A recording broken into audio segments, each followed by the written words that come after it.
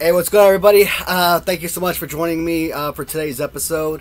Uh, just a very small, quick and easy, smooth review video. So, as we look over here to this right hand side, right, we've got our LJNs, uh, starting with the bendies, and we move on to our thumb wrestlers. Further down, we got the IWA wrestlers, bootleg version, and then we got the full lineup of WCW Just Toys. And I got a few Bend-Ems in there, but you also see, I also have some of the rec- more recent in comparison. So, uh, Thumb Wrestlers, for example, were an LJN released back in uh, 1985. But over the years, other companies have also toiled, uh, toyed with the idea of creating their own version of Thumb Wrestlers. Most of them are like bootleg figures and whatnot, so nothing super clashy. Uh, you've seen the bootleg figures that I've done reviews on. Some of them are like generic alien looking figures. Some of them are generic knockoffs, Macho Man and uh, Hogan, obviously being the big ones. But in the 1990s, uh, Jakks Pacific actually made uh, their own version of Thumb Wrestlers. And playability wise, they are not the same as the LJN. The LJN were actually fantastic for playability purposes. But the one thing I do got to give credit to Jakks Pacific for, aesthetically, the figures look fantastic and they display so well over here and so glad to get them in. I don't know a whole lot about this. I didn't do a whole lot of research. I didn't care to do some research on it because it's not, you know, an integral part of my collection. Uh, it's just something beautiful to add on these stands to go along with the rest of the lineup here, which they all bleed in beautifully together. I want to say like 1997 they came out with them, but from Jakks Pacific Thumb Wrestlers, um, obviously you're always going to have two packs, and this is going to feature Undertaker versus Shawn Michaels. And I kind of talked about the Shawn Michaels before because when you look at over my shoulder, the Shawn Michaels from from Mannix Toys. He kind of wears that same outfit with the blue, uh, the blue pants. Uh, the one thing I don't like about this particular card, as you will see, it does not show you any of the thumb wrestlers on here. So me, I like having card figures because I like to see what else is out there, right? And I like to also keep them in, display them in order that they appear on the on the box. So that's another reason I enjoy card figures. And there's nothing to best of my knowledge, there's only four sets of these, and luckily, we're going to have a chance to look at all of them.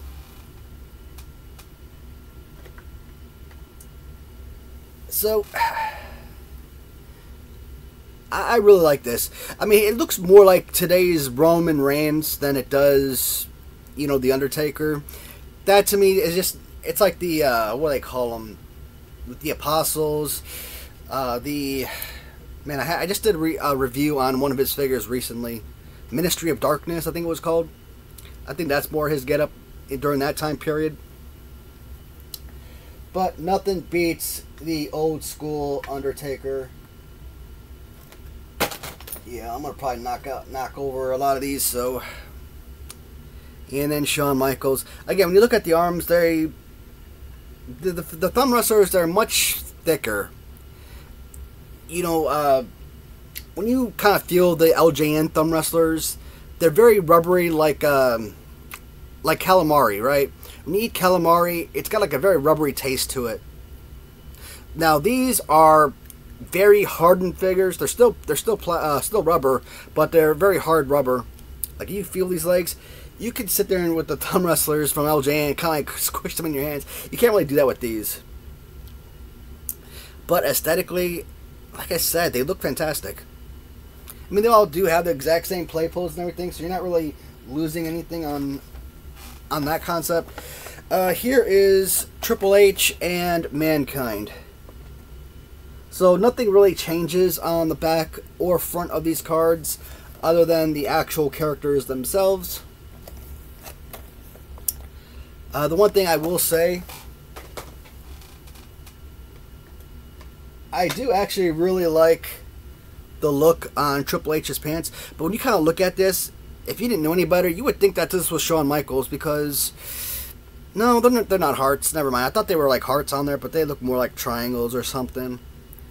And of course, the Triple H long ponytail. But this is a really solid look of this figure here. The Triple H thumb wrestler. I have to say that Mankind is probably my favorite among this group. Probably because he has the most detail to it. And I didn't even notice that the little markings on the back of I keep telling myself that when I do reviews, I need to be, you know, facing that way because or have the screen facing that way because the most light. But I didn't want to take all these thumb wrestlers down. I thought I was gonna be able to move them one at a time, but I'm knocking everything over. So that was a epic failure. but that is the mankind figure. And then we've got Steve Austin going up against Owen Hart. I don't actually remember Owen Hart squaring up against Steve Austin, and so Steve Austin has probably been around since nine. Well, he's been in WWF, I think, versus Ringmaster probably around 90, 95, I want to say. It could have been 94, it could have been 96, but I'm going to say 95. And I don't ever remember them, you know, facing off. Of course, I don't have the best memories of WWF at that time, so. And the cards on the background, you really don't need to see too much there.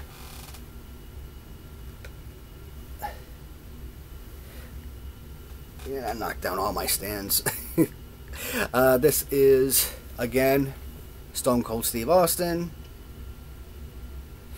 I like the detail of the Texas star on his boots.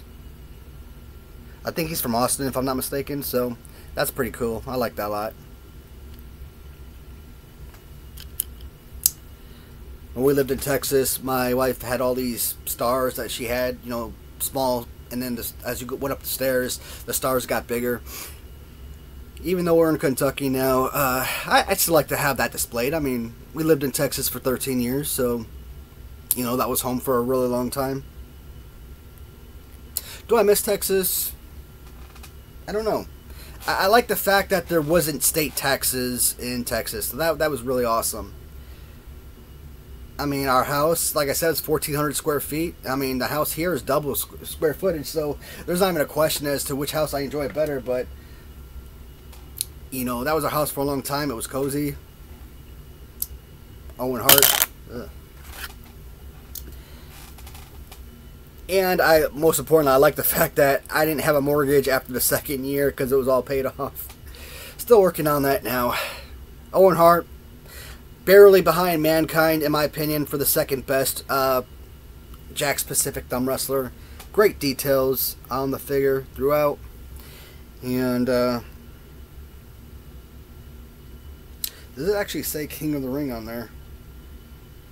Can't really make that out. It says just this King. This writing's too small.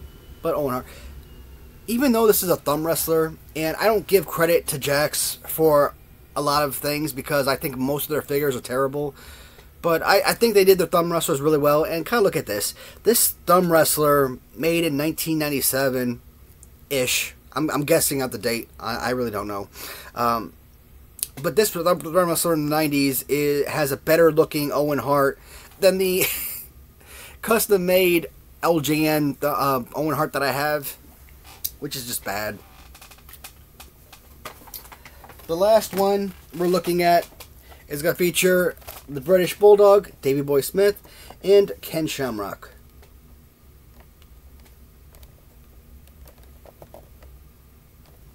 Cool.